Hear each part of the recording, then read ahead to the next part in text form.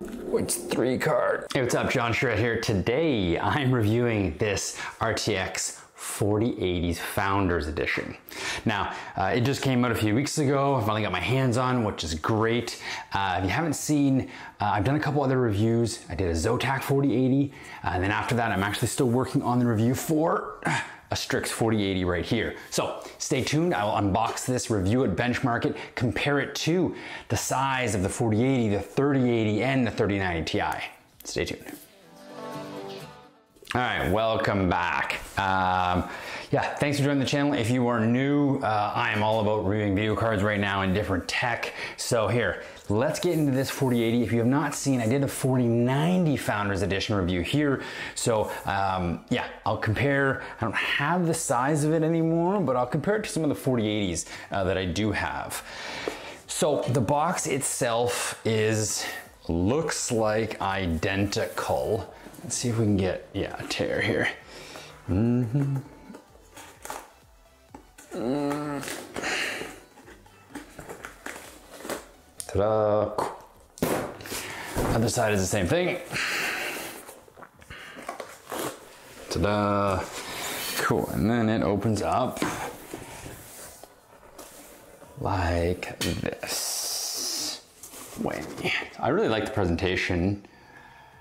Oh, I don't want the card to fall. There we go. Mm, mm, mm, mm, mm. Okay.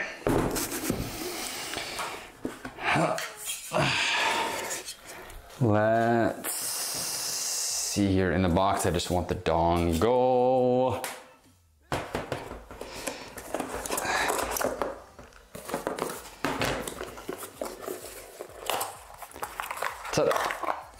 Three eight pin dongle. That's all you really need in the box. It doesn't really come with anything else, which is nice in my opinion. I'm not sure there's some interesting sticky, it's not even sticky resin, it's just some white, it almost looks like the shape of the X. Huh, interesting. Okay, let's get rid of the box.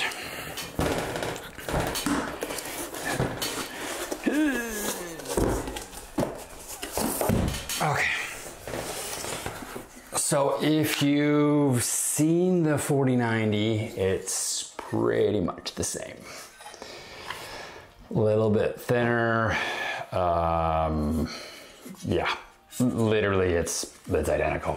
Yeah, there's not a whole lot. It, it, one says 4080, one says 4090. The 4090 is a bit bigger. Yeah, a bit bigger, but um, okay, cool.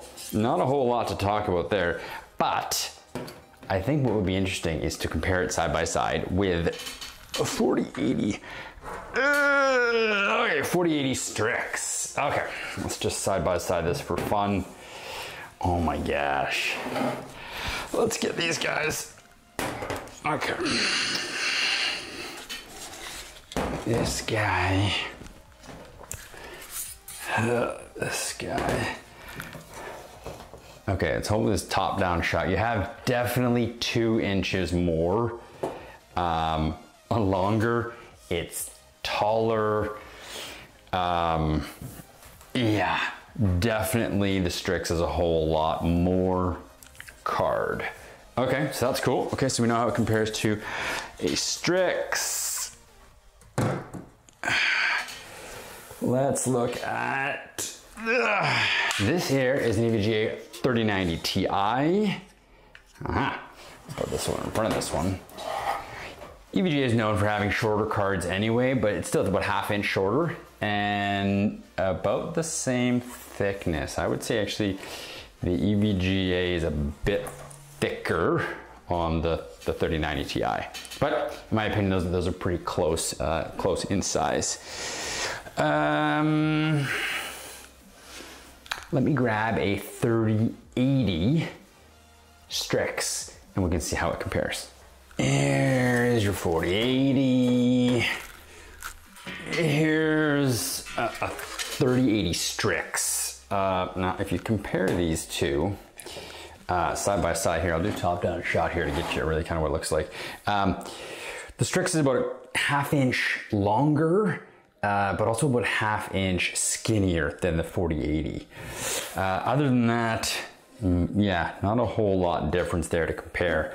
Uh, my opinion, if you already have a 3000 series card, no matter the size, especially if it's a, it's a larger one like a Suprim uh, or, or a Strix, you'll you'll be fine with the 4080. So size wise, not a big concern. It's not like a 4090, which is significantly bigger.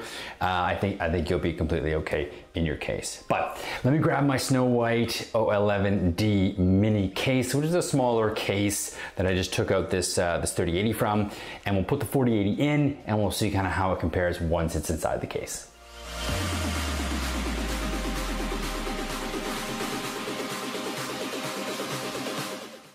Here it is here. Um, I just took the, um, the 3080 out. Let's slap the 4080 in.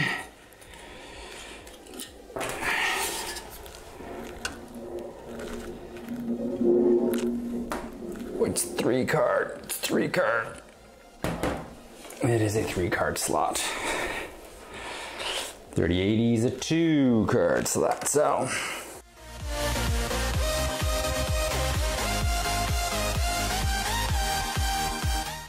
It's in, it, it, it definitely looks pretty massive. Let me see if I, I just this bit easy better. There we go. That's better. Okay. Uh, yeah, I mean, it, it's pretty massive. Let me get this dongle connected.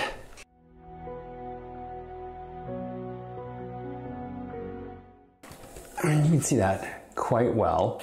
Uh, let's let's turn on the system. I don't uh, foresee it looking a whole lot different than a 3090, but hey.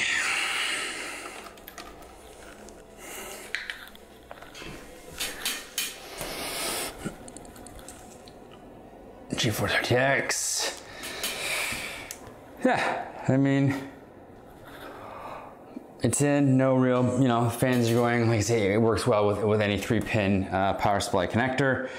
Um, yeah, to me, this is an easy fit, an easy win. If you ever get yourself on a, on a Founders Edition 4080, uh, really slick looking card. So leave it with me. Uh, let me do some benchmarks and see how it compares, especially, like I say, I'm also comparing the uh, the Strix 4080. So I'd love to better understand uh, how it compares to it, knowing that it's uh, two inches shorter does it doesn't make any difference uh, as far as thermals and performance. So here, stay tuned. I will come back with some benchmarks.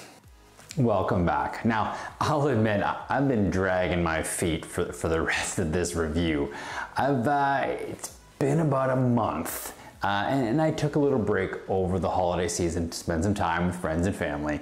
Uh, and, last video, I mean, if you haven't seen my TUF 49 year review, uh, you can check that out here. If you're enjoying this video, please leave me a thumbs up. It helps so much for small channels like mine. Appreciate it. Okay, now back to the 4080 Founders Edition. Now, other than using and, and testing that TUF 4090 for a few days, this has been my go-to card for the past month and I, I can't say anything bad about it. Now it's interesting though because I mean I've reviewed about four or five different 4090s now and now that I'm getting into the 4080 series I mean it's really it's really neat to see that they're pretty awesome. Now and what I mean by that is yes the 4090s are still faster no doubt all the benchmarks will, will prove it. But for day-to-day use when gaming, I can't really, I don't really notice a difference. If, if you know kind of on this channel, I'm not all about the exact specs and the CUDA cores, and I'm more about real life feeling and, and how it works day to day. And I mean, when I'm playing Warzone 2, whether I'm getting 100, 135 frames per second on a 4080 or 180 frames per second on a 4090 at 1440p, 1440p, I, it's, it's the same for me. I mean, it, doesn't, it doesn't make a big difference. Now, that being said, here are the benchmarks for the 4080 Founders Edition and how it compares to the Strix 4080 I've reviewed and also the Zotac 4080.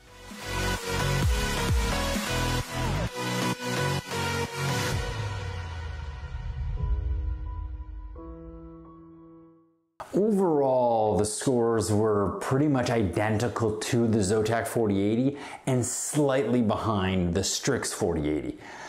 Given the fact that the Strix is a bit higher end card, I'm not surprised to see this. And when it comes to the cost of this card, that's where the Founders Editions always shine. Now, the 4080, this Founder Edition here, is worth $1,200 USD. Uh, compared to, I mean, that Zotac 4080 is now at $1,279, pretty much the same. You can probably get the non-OC for 1200 uh, The Strix 4080 is more like 1550 USD, quite a bit more. And if you're looking at a 4090 FE, you're up at the $1,600 range. Now, as you can see here on newegg.com, you need to be careful. You can see here that they have a 4080 Founders Edition for the same price as the retail price for a 4090 Founders Edition. So it is an open marketplace on newegg.com. Some items are sold directly from Newegg, but a lot of them come from third party who knows who, they're just trying to make an extra buck. The Founders Edition cards have always been the cheapest edition of the cards you can get, but, but don't discount it for its ability to kick ass. Oh, and, and lastly on price, there has been rumblings about NVIDIA lowering the price in the 4080 by 50 to $100, so who knows? Stay tuned. Now when it comes to overclocking, I was pretty surprised at how well this 4080 Founders Edition did, with, with overclocking scores ranging from 5% increase to 18%. There seems to be much more overclock potential in the 4080 over the 4090. The 4090 only had a 3 to 5% performance boost. Now, that being said, can an overclocked 4080 perform almost as well as a 4090? Eh, not, not really. A 4090 still blows it out of the water. Now the uh, overclocking settings I used on this card, I was plus 250 on the core, bringing it up to 2,970 megahertz uh, which, which isn't that bad, right? Right close to that 3000 megahertz threshold. Now on the VRAM, I was only able to go plus 1400 on the VRAM, which brought it up to 12,600, which is a little bit lower than some other cards. The power draw on this card is identical to the Zotac 4080 with a soft power limit of 320 watts, and you can bump it up to 350 watts. Interesting enough that the Strix 4080 uh, you could bring it up to 420 watts. Now, did that mean the Strix performed better? Was you saw from the benchmarks a little bit? Uh, so yeah, I mean, it's interesting. Everyone has their own flavor, but it's interesting why they've limited some cards to 350, but the Strix just went way higher. When it came to thermals, running this Heaven benchmark tool, I mean, it was awesome. The, the, the core didn't go over 61 degrees and the VRAM not over 62. I have been very, very impressed with the thermals overall in all of the 4080s and 4090 series cards I have tested and the Founders Edition was no different. When it comes to lighting on these cars, eh, there's not a whole lot to write home about. The GeForce RTX logo lights up and that's about it. But, I mean, maybe RGB is, isn't your thing, I still think that the design for the 4080 and 4090 Founders Edition cards are elegant. And you know, the 3000 series, the 4000 series, they're, they're, they're very similar. Uh, it just has a nice clean look that if you look in a build and you see one, you're gonna go, okay, cool. That's a nice card. All right, what can I say overall about this card? Ah, I mean, it performs extremely well for, for anything you'd want in 2023. I mean, it, it could use a few more lights. I mean, but I mean, all in all, an incredibly solid card. Now, would I pick this over the Zotac 4080 for pretty much the same price? Well, if you haven't seen my review on the Zotac 48, you know I was ranting and raving about it. Uh, I love the new design of it. The only thing holding me back about picking the Zotac over this card is the size. It is a huge, huge, huge card, uh, whereas the 4080 Founders Edition is nice, it's sleek, it'll fit into most build, maybe even a nice ITX build. So depending where you are in the size of your case, it may differ, uh, you know, 4080 Founders Edition versus, versus the Zotac. Now, I really don't think you can go wrong with this card. I mean, two thumbs up. Um, really impressed with it. Uh, next up, I am going to review a 4080, a Gigabyte 4080 Eagle. Uh, I have it in my system right now. I'll, take it apart and, and, we'll look at it and see how that compares to the 4080 Founders Edition and the Strix and the Zotac. So stay tuned. Thank you for watching. Subscribe for more and see you in the next one.